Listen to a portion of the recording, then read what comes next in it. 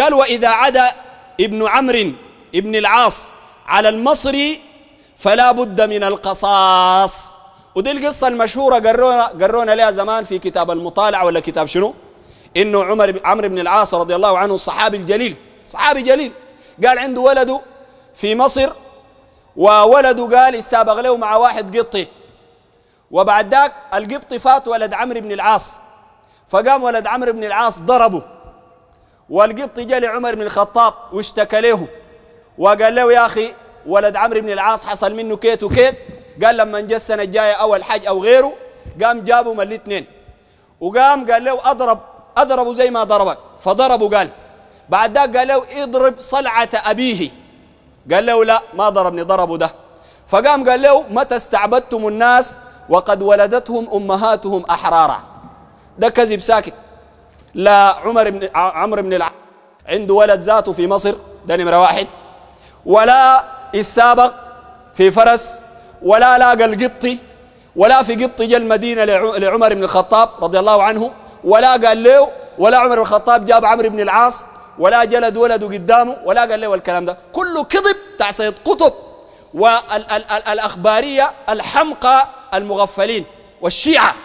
ناس آه ناس آه ذكرهم ابن جرير الطبري في المقدمة.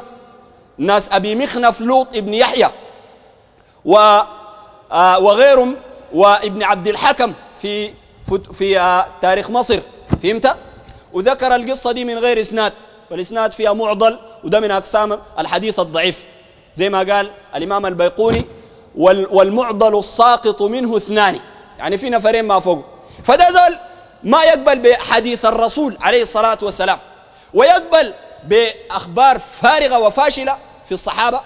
يا عمرو بن العاص يقر ولده على على ظلم وقد قال رسول الله صلى الله عليه وسلم أسلم الناس وآمن عمرو بن العاص. وقال رسول الله صلى الله عليه وسلم ابناء العاص مؤمنان عمرا أو مؤمنين عمرا وهشاما. هشام بن العاص وعمرو بن العاص رضي الله عنهم أجمعين. فيجد الصحابة العظام اللي عندهم الفضل الكبير الفتحوا البلدان يجي يطعن فوقهم وينبذهم لك ده سيد قطب. والنبي عليه الصلاة والسلام قال لا تسبوا أصحابي. فلو أن أحدهم أنفق مثل أحد ذهبا ما بلغ مد صحابي ولا نصيفا. لو أنت ربنا سبحانه وتعالى رزقك مال قدر جبل أحد قدر جبل أحد. وأنفقت في سبيل الله. ذهب. وجاء صحابي شال له في تريته أو أي حاجة. قدر كفين الاثنين ده المد. وأنفقوا في سبيل الله أو نص المد كف واحد. وأنفقوا في سبيل الله ما أنفقه الصحابي يضاعف أعظم من, من الذي أنفقته أنت.